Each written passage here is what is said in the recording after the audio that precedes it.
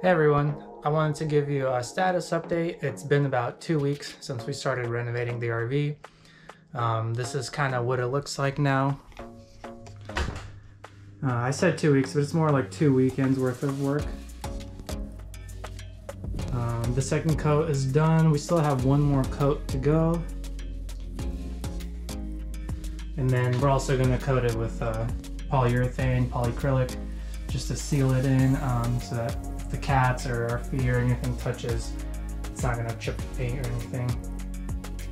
Uh, pretty much nothing's been done to the bathroom.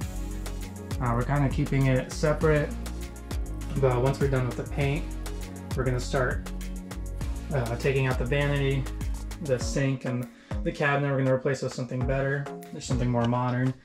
Uh, we're gonna rip out the cabinets too, or not the cabinets, the shelves over here. We're probably gonna keep the toilet for now, and then uh, eventually switch to a composting toilet. And then we have some new faucets and fixtures for the shower that we're gonna replace too. But the shower pan and the shower walls are pretty good. We're just gonna keep those as is. The white paint is definitely hard to put on um, on a brown surface, even priming it.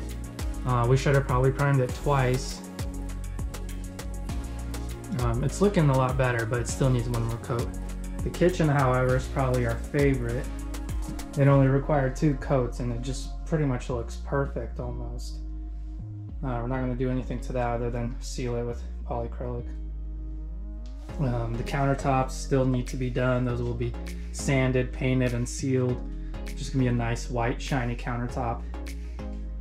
And then uh, we cut down the booths over here. Uh, the booths would have extended to about where my foot is over here. Um, or just the edge of this table. So essentially we're taking off nine inches about from here. Uh, just to give us more space and to be able to get in uh, easier to the front seats. Because uh, the old the old cabinet was probably somewhere where my foot is again and it just get it made getting in pretty hard. Uh, but yeah, we still got probably a week or two weeks uh, to go. Uh, the plan is to get this done essentially as soon as possible so we can at least start living here and stop paying for the hotel. Um, that will save us some money. And then uh, we're still probably going to be working from here for a little bit, doing all the touch-ups, doing all the uh, pillows and whatever. Jayla still has to cut down the seats and we, ha we have a mattress that we're gonna have to, it's a memory foam mattress, a Tempur-Pedic that we're gonna cut down and uh, fit into this thing. Yeah, you can see that it's slightly, um, like this part of the corner is taken off right here. So we're gonna have to do it. But yeah, it's not much more, but just wanted to give you a quick update. Uh, it has been two weeks. And uh, yeah, we definitely made a lot of progress. Once, once you start seeing the work, uh, it definitely starts to feel better and you feel like you're actually doing something and not just um, constantly working and every day we would come here. Um, things didn't things didn't feel like it was moving as fast. And then once the second layer was on, it's like, whoa, this is a whole new place. But yeah, that's all I have for you right now.